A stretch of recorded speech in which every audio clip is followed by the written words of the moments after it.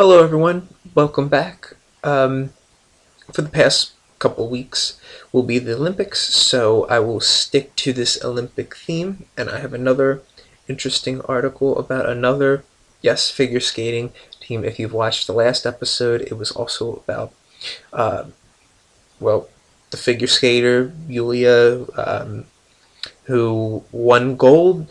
Um, at a very young age. So at this point in time, please pause this video and read the article below in the comment section. So please pause right now.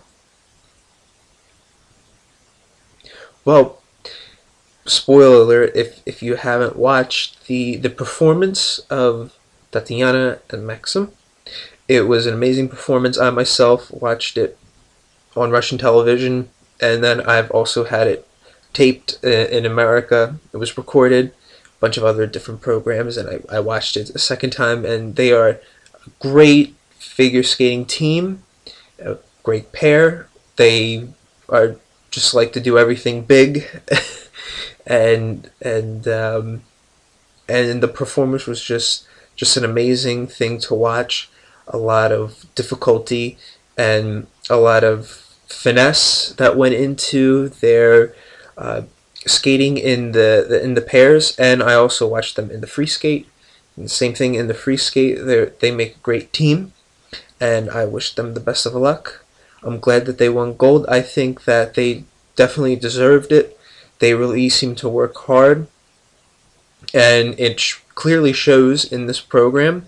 So I hope that they win more medals in the next couple days for figure skating and I hope a lot of people um, enjoy the program. I hope a lot more medals for Ukraine will come their way. I know they have one bronze. I hope a few gold medals come their way.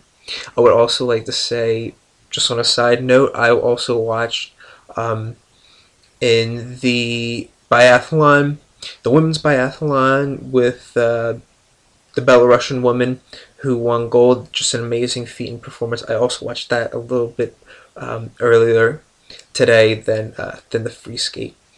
And yes, just an amazing program. It's just a wonderful opportunity for all these athletes to be uh, in one place and show off their talents, even though they don't win, even though they, they support their country and just the games in general. It's just nice to watch all these people compete uh, they are the best, even if they don't win, they still are the best. They top everybody else that comes behind them. So it is great. And I hope tomorrow comes even more greatness and performance.